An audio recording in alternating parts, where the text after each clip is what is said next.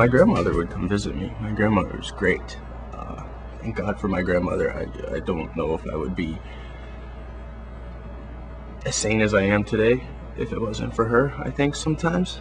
But uh, my bitch of a mom would come, and I think she was just there for appearance reasons sometimes. And, and, and she was all talk, and she would, she would say that and she would help me out, and she would do this, and she would do that. And, and I was telling her, I would tell her, and repeatedly, I would tell her how they treated me in this place. And I swear, it just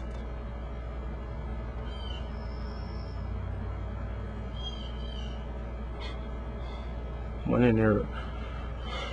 Sorry.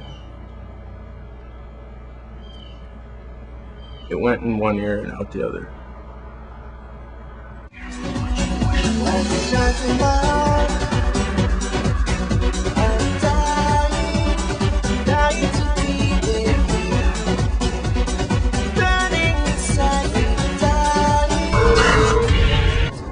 Bad, dude. It's kind of got that creepy spooky vibe thing going.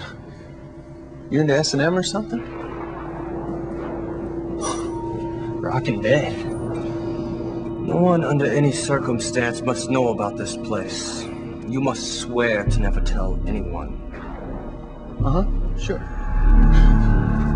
Bedtime story? Not exactly. Just think of it as a big book of grim fairy tales.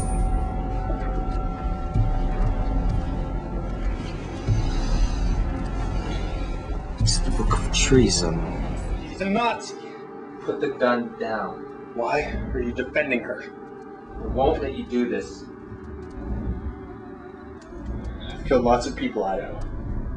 Hundreds, maybe even thousands. You know, flipping the bomb releases, no different than pulling the trigger. I did what I had to do. I followed orders. Things go to hell when you don't follow orders. So, I'm going to give you an order. We'll see whose side you're on. Because, honestly, that uniform is not helping my decision. You're in command. You don't need the gun. We'll see. Now get rid of her! Maybe it's good that she separates us so that we can figure out. Listen to yourself.